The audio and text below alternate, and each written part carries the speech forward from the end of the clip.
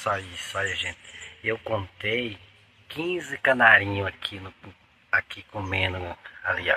Catando quirela ali, ó. Olha como que tá lá, tá vendo? Ó? Tem uns amarelinhos, pardinhos. Tem mais ali na árvore, tem outros cantando aqui também. Outro dia tinha 30. Se alguém veio aqui no canal, vai olhar, vai ver, tem vídeo aí de dois anos, três anos atrás, se eu não me engano que eu tava triste porque tinha dois casalzinhos de canário e tinha sumido um casal, só tinha um. Nossa, será que alguém prendeu os canários? E eu fui dando comida para eles, né? E foi juntando, foi juntando. Agora olha quanto tem. Já cheguei a ver mais de 30 canários aqui. Pra vir comer aqui, ó. Livre, leve, solto na natureza. Olha que beleza.